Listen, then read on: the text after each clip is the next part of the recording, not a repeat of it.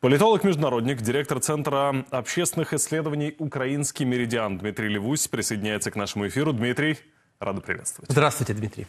Здравствуйте. Ну что, э, ситуация, которая только что была описана в э, сюжете, который мы демонстрировали нашим зрителям, весьма интересна. Как вы считаете, насколько это демонстрирует тенденцию того, что будет происходить в самое ближайшее время в разных государствах касательно отношения к российским активам?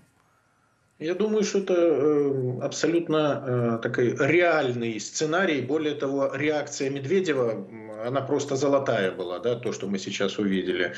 Э, то есть, очи, ну, просто очевидно, что это удар, во-первых, по кошелькам Кремля. Да, почему? Потому что в значительной степени вот эти богатые россияне, о которых шла речь, это, в общем-то, операторы российского богатства. Да, то есть ну, достаточно много бывает примеров, когда уходящий на покой такой некий олигарх э, на пенсии оказывается ну, не, не нищим пенсионером, но тем не менее он э, передал вот эти активы. Да? Поэтому, то есть, это один момент. Другой момент, э, мы, э, опять же, э, по связанный вопрос, то, что видим, это вопрос передачи российских активов арестованных и очень, это очень, все эти темы очень больные, и невозможности э, работы вот таким образом, как под видом киприотов, и э, арест российских активов, а уж тем более для передачи Украине,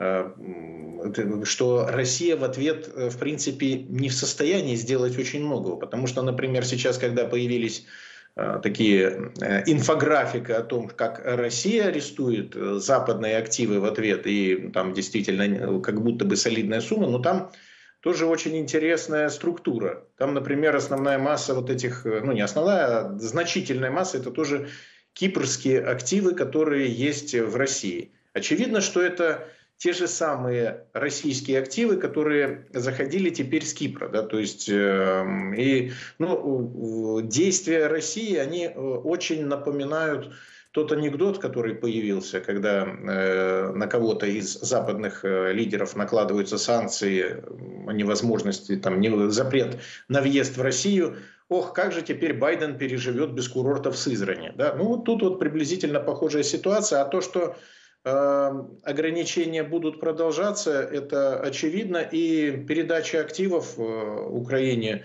э, я думаю, тоже на самом деле не за горами, почему и происходят вот такие Э, ну, нервные и нервозные высказывания со стороны российских власть имущих. Дмитрий, хотелось бы с вами обсудить еще одну тему. Итак, аналитики Института изучения войны указывают на то, что Кремль продолжает использовать концепцию соотечественников за рубежом. Ну, защита исконно русского населения и так далее, чтобы оправдать свою возможную агрессию в отношении стран Балтии и других стран-членов НАТО. Скажите, пожалуйста, учитывая вот э, все посылы, месседжи, заявления э, Путина, все его свиты, на самом ли деле вот такая подготовка, по вашему мнению, ведется уже? Или она, или она началась уже давно? Я думаю, что она началась несколько ранее. Э, тут э, вполне, да, очевидно, ну, речь э, поводом да, для обсуждения явно послужила слова Путина Лукашенко, Володина, которые э, э, были э, вызваны вот этим празднованием, или как это назвать правильно, годовщины снятия прорыва блокады Ленинграда. Да, то есть вот о чем речь шла. И я думаю, что абсолютно очевидно, что так оно и есть. Мы просто можем вспомнить о том, что на протяжении Э, всего 2021 года относительно Украины у Путина появлялись э, такие хамские статейки, где он якобы в историческом, в историческом плане расписывал, почему Украина не существует, почему э, в общем-то, это проект Запада и, и такое все прочее. Поэтому относительно же соотечественников, да, эта концепция выстраивалась уже очень давно и э, практически с 90-х годов, и работа э, на территории стран Балтии, особенно э, Эстонии и Латвии, больше всего даже Латвии, скорее в Литве все-таки несколько иная ситуация, она велась постоянно. И то есть там определенные эти позиции и так были созданы. И э, я не думаю, не стоит, что, наверное, стоит говорить о том, что это какая-то вообще новая идеология. Нет, это э, вот эти слова о том, что Россия противостоит нацизму, э, это слова, э, это, скажем так, это часть э, вот этой большой идеологии русского мира и гражданской религии победобесия. Э, тем более, что э, нацизм его вот сам по себе, противостояние нацизму, его удобно использовать, поскольку в мире, э, на Западе есть достаточно четкое негативное отношение, негативная коннотация именно даже этого слова. Поэтому вот это паразитирование и происходит.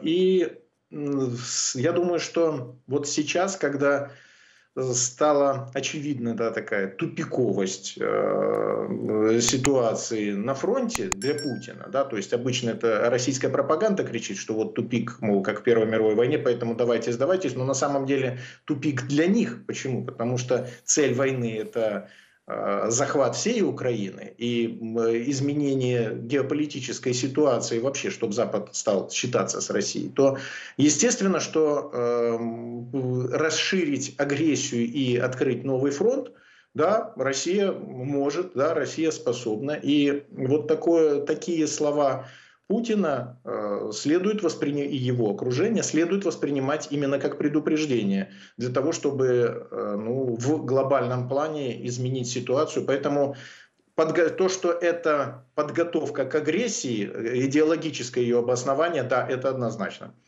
Ну да, это по сути такая себе, согласитесь, технология, которую уже неоднократно да. путинская Россия использовала. Мы это прекрасно знаем. Дмитрий, как всегда, благодарим вас за это включение. Рады Спасибо. были вас видеть. Итак, Дмитрий Левусь, политолог-международник, директор Центра общественных исследований «Украинский меридиан», присоединялся к эфиру телеканала «Фридом». Большое спасибо.